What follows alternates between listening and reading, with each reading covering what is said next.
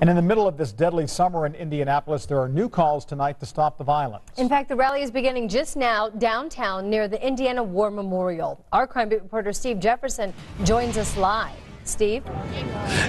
Anne Marie and John, that's right. This uh, rally just got underway at 6 o'clock here at the American Legion Mall. You take a look around me. There are people here uh, from all over the city taking part in this Stop the Violence rally. Joining me now live is Judge Geoffrey Gaither, and he's going to be this keynote speaker. What's the message today about peace in our city after all this violence we've seen?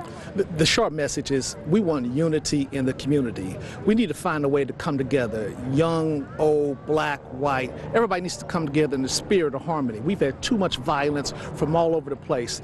The and this is not about Trayvon Martin. That was just an unfortunate timing that happened this matter. But the spirit spirit is about unity.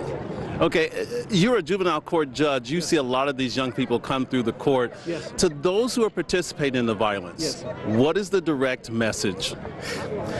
It's the message that I talk about every day in court, every day since 1995. It's about personal responsibility. It's about accountability. It's about forward thinking. It's about it's about it's about helping your brother, your brother from another mother. It's about your neighbor. It's about oneness.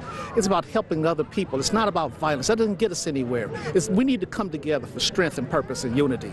Okay, a lot of this violence has happened in the black community. When you look around at the people here at the rally, what does this tell you? Well, I tell you what, uh, I say this: it's it's time for real talk because real life is real hard, and we need real soldiers.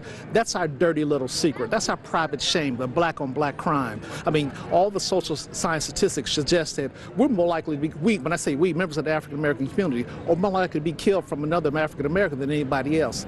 The, the the race issue that surrounded the Trayvon Martin issue, that's an anomaly. Real life is what's happened these past two weeks, and we need to do something about it, like right now. All right, Judge Gaither, thank you for joining us again. He's a keynote speaker for the Peace Rally here downtown. He will be speaking about 7 o'clock. The rally started at 6. Again, everyone is welcome to come down to participate. Back to you in the studio. All right, thank you, Steve. Well, the heat is on. We're beginning a very hot week of weather, and people certainly felt it today as temperatures shot straight into the 80s. We also had high humidity, and that made it feel several degrees hotter. Our chief meteorologist, Chris Wright, joins us now. And the news, Chris, no break ahead. And that